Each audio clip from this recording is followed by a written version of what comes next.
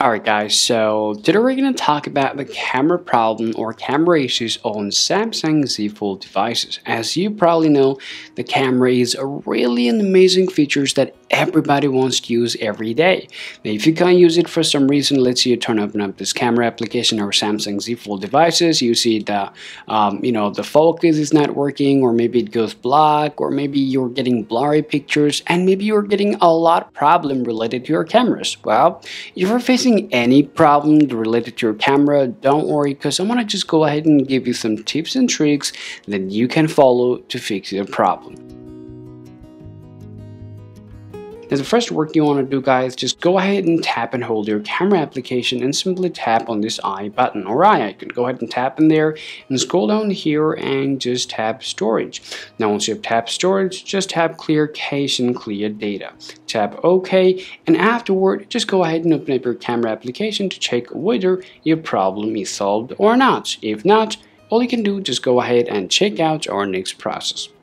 Alright guys, now afterward, if you're still having the same problem, the next things you probably want to do work with your lenses. Now go ahead and grab a soft cloth just like that to clean your lenses. Now go ahead and just clean your lens and make sure that there is no dirt or no dust particle is actually getting stuck here. We're gonna just go ahead and remove all of them just by cleaning them out. After doing this process, hopefully your problem will be solved. If not, go ahead and check out our next way. Alright guys, now the next way that you want to follow to fix your problem is just simply go ahead and open up your camera. What will happen, your camera application will run in the background. Okay, now you just go ahead and tap on this recent icon once you've done that, what will happen, you'll be able to see that your camera application will be in the background. So all you can do is just simply go ahead and remove your camera application from the background and right afterward, quickly just go ahead and press that volume down button and the power button together simultaneously and keep it holding them down unless you see the Samsung logo appears on your devices.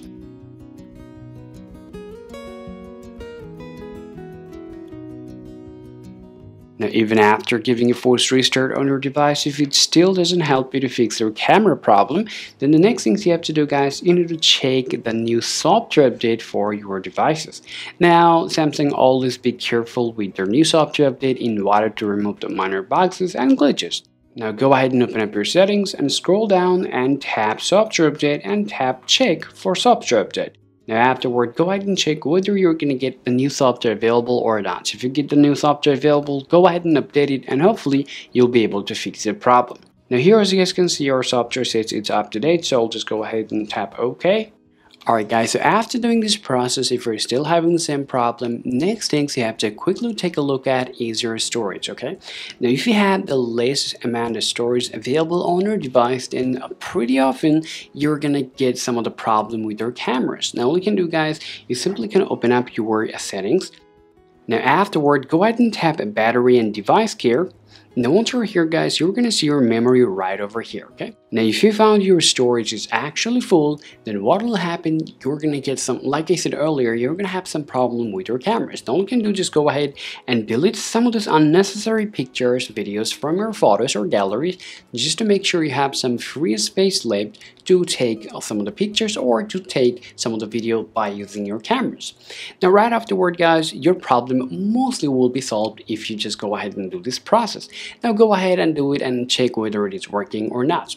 If none of this process didn't really help you out to fix your problem, then all you can do guys, simply go ahead and open up your settings application one more time, then scroll down here and simply tap your general management, and then scroll down here one more time and simply tap reset and choose the first option called reset all settings, okay? Tap reset settings, use your pattern to do it, and tap reset one more time and then your device will take a restart and your problem will be solved cause giving a restart what will happen it will reset all of your customer setting back to normal the way you have used before when you got your uh, Samsung device out of the box. Alright guys, so after doing all of the process, as you guys can see now, the problem have solved. Now afterward, you'll be able to use your camera perfectly without even facing any problem, okay? Alright guys, so this is how you can solve your problem after doing all of the process. Hope this video is useful. If you think so, be sure to leave a like and subscribe to this channel. Thank you very much for watching this video guys, and I'll talk to you all soon.